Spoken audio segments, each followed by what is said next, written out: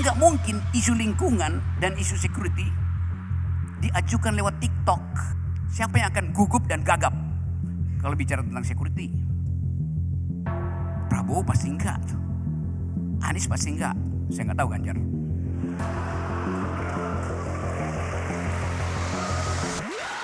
Artinya nggak ada perencanaan kebijakan strategi pertahanan. Habis dipakai jalan tol, nggak dipakai buat bikin jalan pikiran.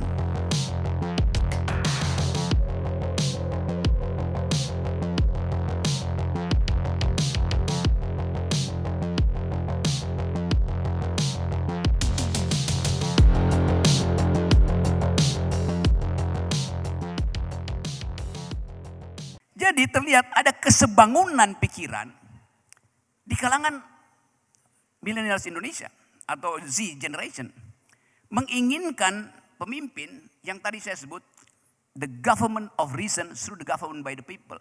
Pemimpin yang punya otak. Orang yang punya otak, dia motivasi ikut dalam percakapan dunia, grammar global.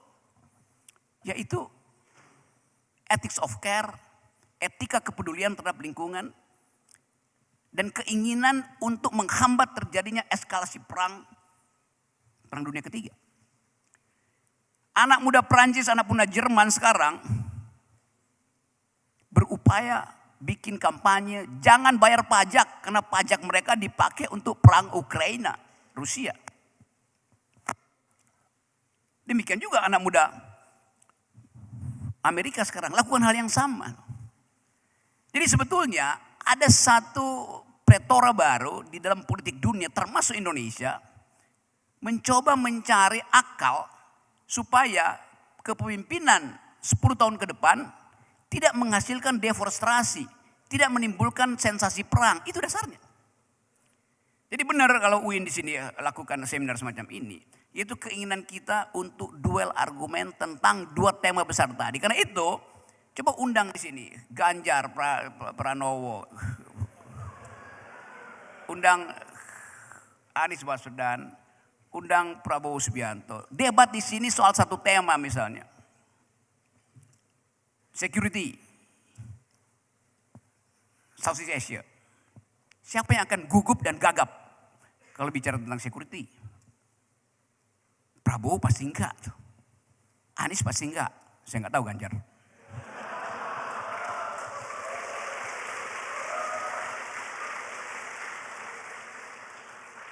Enggak tahu artinya saya belum pernah dengar. Gitu. Kan enggak mungkin isu lingkungan dan isu security diajukan lewat TikTok. Gak bisa. Teman-teman yang belajar tentang global politics di sini punya pertanyaan strategis, misalnya Anda presiden yang akan memimpin Indonesia 2003, apa pendapat Anda tentang eskalasi di Taiwan? Apa impactnya kalau Jepang akhirnya diizinkan oleh Amerika naikkan anggaran pertahanannya 2%. Dinaikin 20% pun ini tetap negara yang rapuh secara pertahanan. Kan anggaran kita habis, dipakai buat apa? Dipakai buat bangun jalan tol.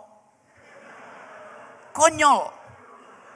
Artinya nggak ada perencanaan kebijakan strategi pertahanan. Habis dipakai jalan tol, nggak dipakai buat bikin jalan pikiran.